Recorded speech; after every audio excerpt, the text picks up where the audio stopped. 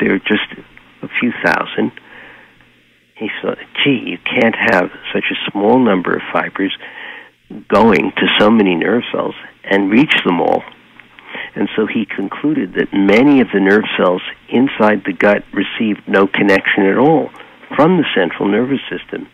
So he classified the nervous system, this large set of neurons that Auerbach had found, as an independent nervous system, the enteric division.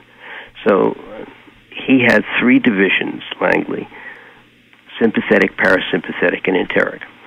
So Langley at the time was the um, editor of the Journal of Physiology, which dominated the field of physiology at the turn of the century, the early 20th century. It's Still a very good journal. And he actually owned it. Um, and he edited it and was an imperious editor. So peri- people would actually get, see, their, send in a manuscript and see it print and find that Langley had edited it and hadn't even deigned to let them know that he'd made changes in their papers. Anyway, he after he died, perhaps because people didn't like him, his uh, classification was sort of changed, not officially, or even anyone thought about it. They just simply referred to the sympathetic and parasympathetic and dropped the detail of the enteric nervous system.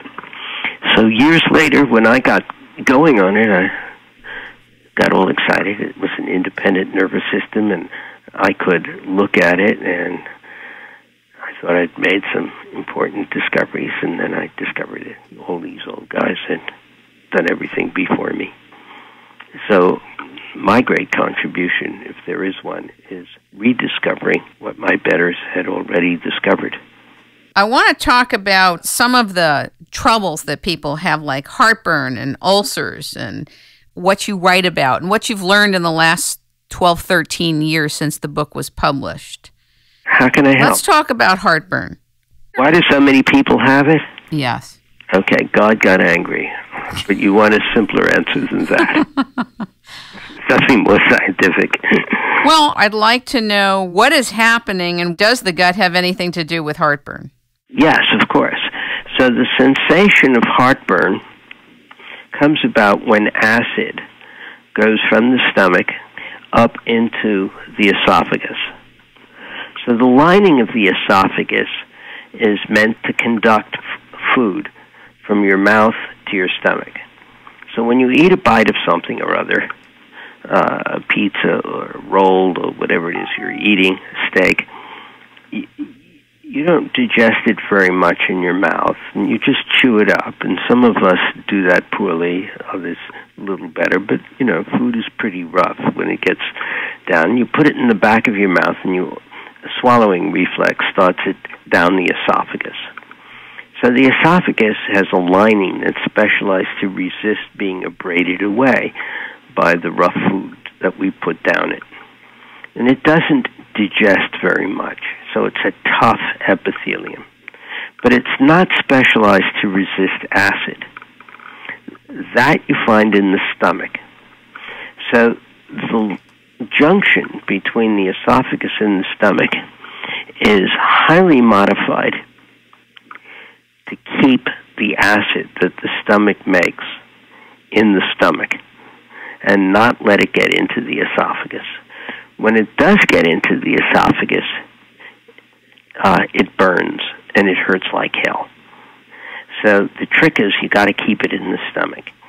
So there's a sphincter. A sphincter is like a valve. It lets things go into the stomach and is not supposed to let stuff go up the other way. But when you get old, it can fail, and sometimes it fails even when you're not old, and some acid sneaks up, and so you've got your own sort of tums that is special glands that make alkali. But if you put a lot of acid up, it just sneaks up in there and burns the esophagus. And and that's real bad because first of all it hurts. And we don't like the sensation of heartburn, which is what happens when acid is burning your esophagus. Uh, it feels the way you'd think it would feel. Uh, secondly, it's not good because it can damage the esophagus, and it can if it's not really changed, it can lead to a condition called Barrett's esophagus, uh, and then cancer. And cancer of the esophagus is no joke. It's a terrible condition. So it's very good to stop GERD or gastroesophageal reflux if you can. And how is it stopped? The cheapest and easiest way is turn off the acid. And one way to do that is take Tums or uh, Gelusil or Maalox, and that neutralizes the acid. But that doesn't last very long. A second approach is to try to paralyze the cells that make acid. And one approach is to turn off the ignition on those cells. So there are two switches, three actually, to ignite them. One is triggered by one switch. The key has uh, the molecule acetylcholine. Another has a molecule called gastrin, and the third switch is uh, a molecule called histamine. And so, if you take an antagonist that blocks the action of one of the keys, that helps. So, um, Tagamet and Zantac are antihistamines. Um, you don't want to mess with the acetylcholine key because if you take enough that blocks that, it blocks too much all over the body.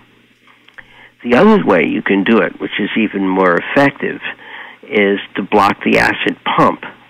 Just take a drug that turns the pump completely off. So don't mess with the keys, the ignition, just take out the motor um, and then you can't make any acid. And uh, Prilosec is the prototypic drug that does that. It's now available over the counter. So you can stop the acid. So for many, many people, that works fine. But if it doesn't, it gets tougher. And ultimately, um, you can try to improve the motility of the gut and the sphincter action with some drugs. And if that doesn't work, you go to surgery. Is it true that as we get older, that many people don't make enough hydrochloric acid in the stomach? Not many, but some. That's called achlorhydria, and that's not a good thing either because that often is a prelude to stomach cancer. And it's sometimes seen in people with pernicious anemia. Um, so those are, that's not a great thing, and it's not common, but it happens. You say that digestion starts in the mouth. You do have some digestive enzymes that can uh, begin the digestion of starch, complex things like that, breaking it down into simple sugars, uh, which can be absorbed. But stomach acid turns those enzymes right off, so they don't do very much. Mostly, you just lubricate the food, chew it up, and get it to slide down the esophagus. And real digestion begins in the stomach. And the major event, the bulk of it, goes on in the small intestine beyond the stomach. Why is it so important that your rediscovery of the second brain being in the gut, why is it so important now? And why was it in 1998 when you published the book? What is the essence of why that discovery is so important in terms of its impact? Well, you can't take an intelligent approach to helping anybody with a gut problem if you don't know how to control it. I mean, if you if you think it's all in the head and everything you do is to treat the brain when the problem could be in the gut, you're lost. So it's very important always to know how every organ actually is run. And particularly when you have an organ such as the gut that can run itself, clearly you're going nowhere unless you know how to run it, how it runs, how it does that.